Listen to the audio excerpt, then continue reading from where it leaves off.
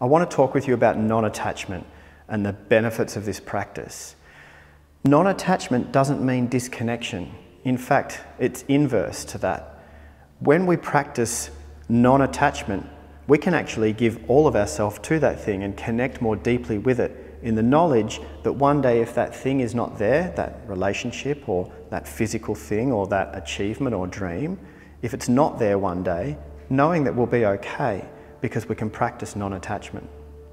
Prior to this practice, my relationships or my aspirations or hopes or dreams or efforts to anything never got all of me because I was keeping a little bit in reserve, keeping a little bit to keep me safe for if I failed or if that thing ended. But as I've been practicing non attachment and trusting that when anything is not there anymore, that I'll be okay. We are resilient, us humans. And trusting that I will be okay through the practice of non attachment, it's actually allowed me to give all of myself into my relationships and my connections and my work and my parenting and my dreams and aspirations. So, a practice of non attachment, a practice of letting go, actually deepens our ability to connect and be more present in this moment.